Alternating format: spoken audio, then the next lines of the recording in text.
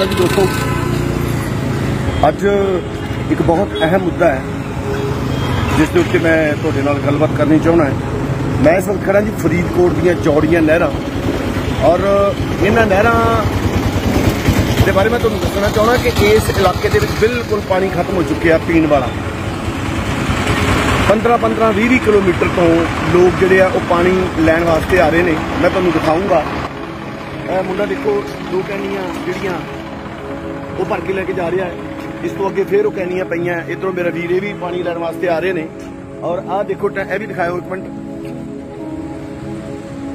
ਇਹ ਦੇਖੋ ਆਟੋ ਦੇ ਵਿੱਚ ਇਹ ਵੀ ਪਾਣੀ ਲੈ ਕੇ ਜਾ ਰਹੇ ਨੇ। ਔਰ ਇੱਥੇ ਲੋਕਾਂ ਨੇ ਬਿਜ਼ਨਸ ਸ਼ੁਰੂ ਕੀਤਾ ਹੈ ਕਿ ਇੱਕ ਮੋਟਰਸਾਈਕਲ ਦੇ ਪਿੱਛੇ ਰੇੜਾ ਬਣਾਇਆ ਹੋਇਆ ਹੈ। ਔਰ ਉਹਦੇ ਤੇ ਹਜ਼ਾਰ ਹਜ਼ਾਰ ਲੀਟਰ ਦੀਆਂ ਜਿਹੜੀਆਂ ਉਹ ਟੈਂਕੀਆਂ ਰੱਖੀਆਂ ਔਰ ਪਿੰਡਾਂ ਦੇ ਵਿੱਚੋਂ ਉਹ ਟੈਂਕੀ ਭਰ ਕੇ ਔਰ ਉਸ ਤੋਂ ਬਾਅਦ ਪਿੰਡ ਦੇ ਵਿੱਚ ਜਾ ਕੇ ਉਹ ਪਾਣੀ ਜਿਹੜਾ ਹੈਗਾ ਲੋਕਾਂ ਦੇ ਘਰਾਂ ਵਿੱਚ ਦਿੰਦੇ ਨੇ। ਇੱਕ ਰੋਜ਼ਗਾਰ ਤਾਂ ਉਹਨਾਂ ਦਾ ਬਣ ਗਿਆ, ਲੇਕਿਨ ਕਿੰਨੇ ਅਫਸੋਸ ਦੀ ਗੱਲ ਹੈ ਕਿ ਐਗਰੀਕਲਚਰ ਮੁਲਕ ਹੋਵੇ, ਹਿੰਦੁਸਤਾਨ, ਜਿਹਨੂੰ ਪੰਜਾਬ ਕਹਿੰਦੇ ਆ, ਪੰਜਾਂ ਦਰਿਆਵਾਂ ਦੀ ਧਰਤੀ ਜਿਹੜੀ ਹੈ, ਉਸ ਧਰਤੀ ਦੇ ਵਿੱਚ ਪੀਣ ਵਾਲਾ ਪਾਣੀ ਹੀ ਖਤਮ ਹੋ ਗਿਆ। ਔਰ ਉਹਦਾ ਜ਼ਿੰਮੇਵਾਰ ਕੌਣ ਹੈ? ਮੈਂ ਸਮਝਦਾ ਕਿ ਬਹੁਤ ਜ਼ਿਆਦਾ ਜ਼ਿੰਮੇਵਾਰ ਸਰਕਾਰਾਂ ਵੀ ਹੈ, ਲੇਕਿਨ ਉੱਥੇ ਸਾਡੇ ਲੋਕ ਵੀ ਜਿਹੜੇ ਹੈਗੇ ਨੇ, ਉਹਦੇ ਜ਼ਿੰਮੇਵਾਰ ਹੈ। ਕਿਉਂਕਿ ਅਸੀਂ ਜਿੱਥੇ ਮਾਰੂ ਸਾਡੀ ਧਰਤੀ ਸੀਗੀ, ਜਿੱਥੇ ਨਰਮਾ ਬੀਜਿਆ ਜਾਂਦਾ ਸੀਗਾ ਉਸ ਜਗ੍ਹਾ ਤੇ ਅਸੀਂ ਪਿਛਲੇ 20-25 ਸਾਲ ਤੋਂ, ਸ਼ਾਇਦ ਇਸ ਤੋਂ ਵੀ ਜ਼ਿਆਦਾ ਜਿਹੜਾ ਅਸੀਂ ਝੋਨਾ ਲਾਉਣਾ ਸ਼ੁਰੂ ਕਰ ਦਿੱਤਾ। ਔਰ ਅਸੀਂ ਇੰਨਾ ਕੁ ਜ਼ਿਆਦਾ ਝੋਨਾ ਲਾਇਆ, ਹਰ ਖੇਤ ਦੇ ਵਿੱਚ ਜਿਹਦੇ ਕਿੱਲਾ, ਉਹਦੇ ਵੀ ਇੱਕ ਮੋਟਰ ਲਾਈ ਲਈ ਹੈ, ਜਿਹਦੇ 4-5 ਕਿੱਲੇ ਉਹਨਾਂ ਦੇ ਦੋ ਦੋ ਮੋਟਰਾਂ ਲਾਈਆਂ। ਸੋ ਧਰਤੀ ਦਾ ਸਾਰਾ ਪਾਣੀ ਜਿਹੜਾ ਉਹ ਅਸੀਂ ਜਿਹੜਾ ਕੱਢ ਲਿਆ।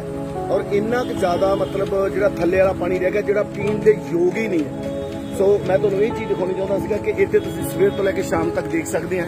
ਪੂਰਾ ਮੇਲਾ ਲੱਗਿਆ ਰਹਿੰਦਾ ਹੈ। ਲੋਕ ਜਿਹੜੇ ਆ ਉਹ ਪਾਣੀ ਭਰ ਕੇ ਲੈ ਕੇ ਜਾਂਦੇ ਦੇਖੋ ਭੈਣ ਜੀ ਹੁਣੀ ਆਏ ਆ, ਇਹ ਵੀ ਪਾਣੀ ਭਰ ਕੇ ਲੈ ਕੇ ਜਾ ਰਹੇ ਆ।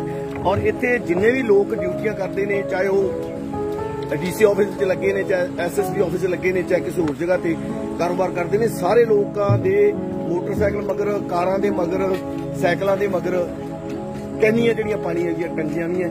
ਤੇ ਆਉਣ ਵਾਲੇ ਸਮੇਂ ਦੇ ਵਿੱਚ ਮੈਨੂੰ ਲੱਗਦਾ ਨਹੀਂ ਹੈ ਕਿ ਸਾਲ 2 ਸਾਲ ਤੋਂ ਬਾਅਦ ਇਹ ਜਿਹੜੇ ਨਲਕੇ ਆ, ਸ਼ਾਇਦ ਇਹ ਵੀ ਬੰਦ ਹੋ ਜਾਣ, ਕਿਉਂਕਿ ਵੈਸੇ ਜਿਹੜੇ ਨਲਕਿਆਂ ਦਾ ਪਾਣੀ ਹੈ, ਇਹ ਵੀ ਮੇਰੀ ਗੱਲ ਹੋਈ ਸੀਗੀ ਵਾਟਰ ਸਪਲਾਈ ਵਾਲੇ ਇੱਕ ਇੰਸਪੈਕਟਰ ਸਾਹਿਬ ਉਹਨਾਂ ਦੇ ਨਾਲ। ਉਹਨਾਂ ਨੇ ਕਿਹਾ ਸੀ ਕਿ ਇਹ ਵੀ ਪਾਣੀ ਜਿਹੜਾ ਪੀਣ ਦੇ ਯੋਗ ਨਹੀਂ ਹੈ, ਲੇਕਿਨ ਲੋਕ ਜਾਣ ਕਿੱਥੇ?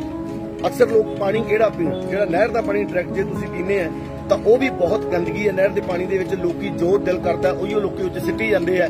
ਔਰ ਉਹ ਪਾਣੀ ਵੀ ਪੀਣ ਵਾਲਾ ਨਹੀਂ, ਉਹ ਵੀ ਪਾਣੀ ਗੰਦਲਾ ਹੋ ਗਿਆ।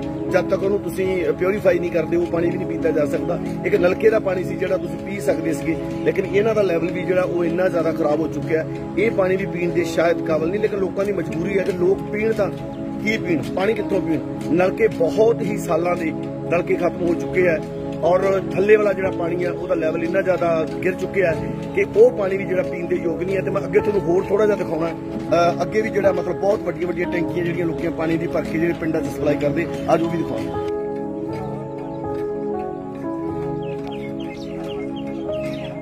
ਆ ਜਿਹੜੀ ਨਹਿਰ ਤੁਸੀਂ ਦੇਖ ਰਹੇ ਹੋ, ਇਸ ਨਹਿਰ ਦਾ ਵੀ ਪਾਣੀ ਇੰਨਾ ਕਿ ਜ਼ਿਆਦਾ ਗੰਦਾ, ਇੰਨਾ ਕਿ ਜ਼ਿਆਦਾ ਮੈਲਾ ਪਾਣੀ ਹੈ।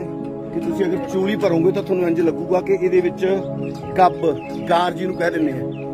ਆ, ਬਹੁਤ ਜ਼ਿਆਦਾ ਮੰਦਾ ਹਾਲ ਹੈ ਇਸ ਨਹਿਰ ਦਾ ਵੀ ਔਰ ਸਾਰੇ ਲੋਕਾਂ ਨੇ ਇਹਦਾ ਹੀ ਪਾਣੀ ਪੀਣਾ ਹੈ।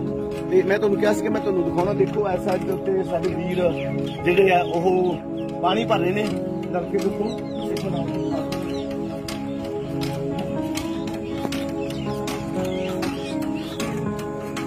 ਇਹ ਹਜ਼ਾਰ ਹਜ਼ਾਰ ਲੀਟਰ ਦੀਆਂ 2-2000 ਲੀਟਰ ਦੀਆਂ ਜਿਹੜੀਆਂ ਟੈਂਕੀਆਂ ਜਿਹੜੀਆਂ ਉਹ ਇੱਥੇ ਲੱਗੀਆਂ ਔਰ ਦੇਖੋ ਪਾਣੀ ਬਹੁਤ ਮਿਹਨਤ ਕਰਨੀ ਪੈਂਦੀ ਹੈ ਗੇੜਨਾ ਪੈਂਦਾ ਪਾਣੀ ਇਹ ਪਾਣੀ ਭਰ ਕੇ ਇਹ ਪਾਣੀ ਤੁਸੀਂ ਕਿੱਥੇ ਲੈ ਕੇ ਜਾ ਰਹੇ ਹੋ ਜੀ? ਅੱਛਾ ਪਿੰਡਾਂ ਦੇ ਵਿੱਚ ਪਾਣੀ ਫਿਰ ਤੁਸੀਂ ਜਿਹੜਾ ਮਤਲਬ ਘਰਾਂ ਦੇ ਵਿੱਚ ਪਾਣੀ ਦਿੰਦੇ ਹੋ। ਤੇ ਪਿੰਡਾਂ ਦੇ ਵਿੱਚ ਪਾਣੀ ਹੈ ਨਹੀਂਗਾ? ਮਾੜਾ ਹੋ ਗਿਆ। ਪੀਣ ਵਾਲਾ ਪਾਣੀ ਨਹੀਂ। ਕਿੰਨੇ ਚਿਰ ਤੋਂ ਤੁਸੀਂ ਕਰਦੇ ਹੋ ਸੇਵਾ ਇਹ? 4 ਸਾਲ 4 ਸਾਲ ਤੋਂ ਤੁਸੀਂ ਕਰ ਰਹੇ ਹੋ। ਤੁਸੀਂ ਬਾਈ ਜੀ? ਤੁਸੀਂ? ਇਸ ਵਾਰੀ। ਅੱਛਾ ਤੁਸੀਂ ਹੁਣੇ ਆਏ ਹੋ। ਤੁਸੀਂ ਵੀਰੇ? ਓਕੇ ਓਕੇ ਸੋ ਇਹ ਮੁੰਡੇ ਦੱਸ ਰਹੇ ਨੇ ਜੀ ਕਿ ਪੂਰੇ 4-5 ਸਾਲ ਤੋਂ ਜਿਹੜਾ ਇਹ ਪਾਣੀ ਇੱਥੋਂ ਭਰਦੇ ਆ ਔਰ ਘਰਾਂ ਦੇ ਵਿੱਚ ਪਾਣੀ ਜਿਹੜਾ ਨਲਕਿਆਂ ਦਾ ਪਾਣੀ ਵੀ ਖਤਮ ਹੋ ਗਿਆ, ਸ਼ਹਿਰ ਦੇ ਵਿੱਚ ਜਿਹੜੇ ਹੋਰ ਪਾਣੀ ਉਹ ਵੀ ਸਾਰੇ ਖਤਮ ਹੋ ਗਏ। ਸਿਰਫ ਆਹੀ ਇੱਕ ਨਹਿਰ ਦਾ ਪਾਣੀ ਹੈ, ਜਿਹੜਾ ਪਾਣੀ ਪੀਣ ਦੇ ਵਿੱਚ ਵੀ ਠੀਕ ਹੈ, ਜਿਹਨੂੰ ਥੋੜਾ ਜਿਹਾ ਠੀਕ ਕਿਹਾ ਜਾ ਸਕਦਾ। ਲੇਕਿਨ ਮੈਂ ਪਹਿਲਾਂ ਵੀ ਕਿਹਾ ਸੀ ਕਿ ਸਿਹਤ ਵਿਭਾਗ ਵਾਲਿਆਂ ਨੇ ਇਸ ਪਾਣੀ ਨੂੰ ਵੀ ਠੀਕ ਵਾਜਬ ਨਹੀਂ ਠਹਿਰਾਇਆ। ਉਹ ਕਹਿੰਦੇ ਇਹ ਪਾਣੀ ਵੀ ਸ਼ਾਇਦ ਪੀਣ ਦੇ ਕਾਬਲ ਨਹੀਂ ਹੈ। ਲੇਕਿਨ ਗੱਲ ਉੱਥੇ ਆ ਜਾਂਦੀ ਹੈ ਕਿ ਫਿਰ ਬੰਦਾ ਪੀਵੇਗੀ। ਜੇ ਤੁਸੀਂ ਪੀਣਾ ਨਹੀਂ ਤੇ ਇਨਸਾਨ ਪਾਣੀ ਤੋਂ ਬਿਨਾਂ ਤਾਂ ਬਚ ਨਹੀਂ ਸਕਦਾ, ਪਾਣੀ ਪੀਣਾ ਪਊਗਾ। ਔਰ ਦੇਖੋ ਜੇ, ਇਨਸਾਨ ਦੇ ਪੀਣ ਵਾਲੇ ਪਾਣੀ ਦੀ ਆ ਹਾਲਾਤ ਹੈ ਆਉਣ ਵਾਲੇ ਸਮੇਂ ਦੇ ਵਿੱਚ। ਮੈਂ ਇਹ ਦਾਅਵੇ ਨਾਲ ਗੱਲ ਕਹਿ ਸਕਦਾ ਕਿ ਜਿਸ ਤਰ੍ਹਾਂ ਇਹ ਪਾਣੀ ਸਾਡੇ ਵੀਰ ਪਿੰਡਾਂ 'ਚ ਘਰਾਂ 'ਚ ਜਾ ਕੇ ਦੇ ਰਹੇ ਨੇ, ਆਉਣ ਵਾਲੇ ਸਮੇਂ ਦੇ ਵਿੱਚ ਨਹਾਉਣ ਵਾਸਤੇ ਵੀ ਜਿੰਨੇ ਜੀ ਹੋਇਆ ਕਰਨਗੇ, ਉਹਨੇ 5-5 10 ਲੀਟਰ ਦੀਆਂ ਕੈਨੀਆਂ ਵੰਡਗੀਆਂ ਨਹਾਉਣ ਵਾਲਾ ਪਾਣੀ ਵੀ ਸਾਨੂੰ ਖਰੀਦਣਾ ਪਏਗਾ, ਵੱਧ ਤੋਂ ਵੱਧ 4-5 ਸਾਲਾਂ ਦੀ ਗੱਲ ਹੈ। ਕਿਉਂਕਿ ਜਿਹੜਾ ਥੱਲੇ ਵਾਲਾ ਪਾਣੀ ਹੈ, ਅੱਜ ਸਿਰਫ ਪੀਣ ਵਾਸਤੇ ਮਾਰਾ ਆਉਣ ਵਾਲੇ ਸਮੇਂ 'ਚ ਜਦੋਂ ਤੁਸੀਂ ਸ਼ੈਂਪੂ ਲਾਓਗੇ, ਉਹ ਪਾਣੀ ਤੁਹਾਡੇ ਸਿਰ ਤੇ ਜੰਮ ਜੂਗਾ। ਇੰਨਾ ਵੀ ਜ਼ਿਆਦਾ ਮਾੜਾ ਪਾਣੀ ਹੋ ਜਾਣਾ ਕਿ ਤੁਸੀਂ ਉਸ ਪਾਣੀ ਨੂੰ ਆਪਣੇ ਸਰੀਰ ਤੇ ਵੀ ਨਹੀਂ ਪਾ ਸਕਦੇ। ਪਾਓਗੇ ਤਾਂ ਤੁਹਾਡੇ ਸਰੀਰ ਦੇ ਉੱਤੇ ਵੀ ਕੋਈ ਨਾ ਕੋਈ ਉਹਦਾ ਇਫੈਕਟ ਹੋ ਸਕਦਾ ਸੋ ਬੜਾ ਵਕਤ ਨਿਕਲ ਚੁੱਕਾ ਹੈ। ਹਾਲੇ ਵੀ ਆਪਾਂ ਜਿੰਨਾ ਪ੍ਰਸ਼ਾਸਨ ਹੈ, ਉਹਨਾਂ ਨੂੰ ਇਸ ਪਾਸੇ ਧਿਆਨ ਦੇਣਾ ਚਾਹੁੰਦੇ ਨੇ ਜਿੰਨੇ ਸੁਹਿਰਦ ਲੋਕ ਹੈ, ਉਹਨਾਂ ਨੂੰ ਵੀ ਆਪਾਂ ਇਸ ਗੱਲ ਦੇ ਬਾਰੇ ਦੱਸਣਾ ਚਾਹੁੰਦੇ ਹਾਂ। ਕਿ ਪਵਨ ਗੁਰੂ ਪਾਣੀ ਪਿਤਾ ਮਾਤਾ ਧਰਤ ਮਹਾਤਾ ਵਾਲੇ ਜਿਹੜੇ ਸ਼ਬਦ ਅਸੀਂ ਸੁਣਦੇ ਆ ਉਹਨਾਂ ਤੇ ਅਸਰ ਵੀ ਕੀਤਾ ਜਾਵੇ। ਲੋਕ ਵੀ ਬਹੁਤ ਦੁਰਵਰਤੋਂ ਕਰਦੇ ਆ ਤੇ ਲੋਕ ਵੀ ਪਾਣੀ ਦੀ ਰੱਜ ਕੇ ਬੇਇੱਜ਼ਤੀ ਕਰਦੇ ਆ। ਜਿੰਨਾ ਘਰ ਦਾ ਕੂੜ ਬਾੜ ਹੁੰਦਾ, ਸਾਰਾ ਨਹਿਰਾਂ ਦੇ ਵਿੱਚ ਕੱਸੀਆਂ ਤੇ ਸਿੱਟਦੇ ਆ। ਅੱਜ ਤੋਂ ਸਾਨੂੰ ਸਮਝ ਲੱਗ ਜਾਣੀ ਚਾਹੀਦੀ ਹੈ ਕਿ ਪਵਨ ਸਾਡਾ ਗੁਰੂ ਆ ਤੇ ਪਾਣੀ ਪਵਨ ਗੁਰੂ ਆ ਤੇ ਮਤਲਬ ਇਹ ਦੋਨਾਂ ਦੀ ਸਾਨੂੰ ਇੱਜ਼ਤ ਕਰਨੀ ਪੈਣੀ ਹੈ। ਆਉਣ ਦੀ ਵੀ ਤੇ ਪਾਣੀ ਦੀ ਵੀ। ਨਹੀਂ ਤਾਂ ਆਉਣ ਵਾਲਾ ਸਮਾਂ ਜਿਹੜਾ ਬਹੁਤ ਮਾੜਾ ਹੈ। ਸਾਡਾ ਕੰਮ ਹੈ, ਸਾਡਾ ਮਕਸਦ ਹੈ ਕਿ ਲੋਕਾਂ ਤੱਕ ਗੱਲ ਪਹੁੰਚਾਈਏ, ਜਿਨ੍ਹਾਂ ਲੋਕਾਂ ਨੇ ਨਹੀਂ ਵੀ ਗੱਲ ਬਹੁਤ ਸਾਰੇ ਹੋ ਸਕਦਾ ਜਲੰਧਰ ਵਾਲੇ ਪਾਸੇ, ਹੁਸ਼ਿਆਰਪੁਰ ਵਾਲੇ ਪਾਸੇ, ਹਲੇ ਹਲੇ ਪਾਣੀ ਥੋੜਾ ਠੀਕ ਹੈ। ਹੋ ਸਕਦਾ ਉਹਨਾਂ ਨੂੰ ਇਹ ਚੀਜ਼ ਦਾ ਪਤਾ ਨਾ ਹੋਵੇ। ਔਰ ਦੁਨੀਆ ਦੇ ਵਿੱਚ ਜਿਹੜੇ ਵਿਦੇਸ਼ਾਂ 'ਚ ਲੋਕ ਵਸਦੇ ਆ, ਇਹ ਵੀਡੀਓ ਉੱਥੇ ਵੀ ਦੇਖਿਆ ਜਾਊਗਾ। ਤੇ ਆਪਾਂ ਉਹੀ ਚਾਹੁੰਦੇ ਹਾਂ ਕਿ ਉਹਨਾਂ ਲੋਕਾਂ ਨੂੰ ਵੀ ਪਤਾ ਲੱਗੇ, ਉਹ ਆਪਦੇ ਪਿੰਡਾਂ ਦਾ ਪਿੱਛੇ ਖਿਆਲ ਕਰਨ, ਜਿਹੜੇ ਵਿਦੇਸ਼ਾਂ 'ਚ ਵੀ ਸਾਡੇ ਦੋਸਤ ਬੈਠੇ ਆ, ਕਿ ਪਾਣੀ ਦਾ ਬਹੁਤ ਜ਼ਿਆਦਾ ਮਾੜਾ ਹਾਲ ਹੈ ਇਹਦੇ ਬਾਰੇ ਸਾਨੂੰ ਸੋਚਣਾ ਚਾਹੀਦਾ ਪ੍ਰਸ਼ਾਸਨ ਨੂੰ ਸੋਚਣਾ ਚਾਹੀਦਾ ਲੋਕਾਂ ਨੂੰ ਸੋਚਣਾ ਚਾਹੀਦਾ ਜਿਹੜੀਆਂ ਆਰਗੇਨਾਈਜੇਸ਼ਨ ਹੈਗੀਆਂ, ਜਥੇਬੰਦੀਆਂ ਉਹਨਾਂ ਲੋਕਾਂ ਨੂੰ ਵੀ ਸੋਚਣਾ ਚਾਹੀਦਾ। ਇਹ ਬਹੁਤ ਜ਼ਰੂਰੀ ਕੰਮ ਹੈ। ਸਾਰੇ ਕੰਮ ਛੱਡ ਕੇ ਸੋਚਣ ਵਾਲੀ ਗੱਲ ਹੈ। ਤੁਹਾਡਾ ਬਹੁਤ ਬਹੁਤ ਸ਼ੁਕਰੀਆ, ਬਹੁਤ ਮਿਹਰਬਾਨੀ। ਤੇ ਇਸ ਵੀਡੀਓ ਨੂੰ ਵੱਧ ਤੋਂ ਵੱਧ ਤੁਸੀਂ ਸ਼ੇਅਰ ਕਰੋ। ਜਿੱਥੋਂ ਤੱਕ ਤੁਸੀਂ ਪਹੁੰਚਾ ਸਕਦੇ ਹੋ, ਉੱਥੋਂ ਤੱਕ ਪਹੁੰਚਾਓ। ਕਿਉਂਕਿ ਗੱਲ ਬਹੁਤ ਜ਼ਰੂਰੀ ਹੈ। ਗੱਲ ਬਹੁਤ ਕੰਮ ਦੀ ਹੈ। ਗੱਲ ਤੁਹਾਡੇ ਬੱਚਿਆਂ ਦੀ ਹੈ, ਤੁਹਾਡੇ ਭਵਿੱਖ ਦੀ ਹੈ, ਤੁਹਾਡੀ ਸਿਹਤ ਦੀ ਹੈ। Thank you very much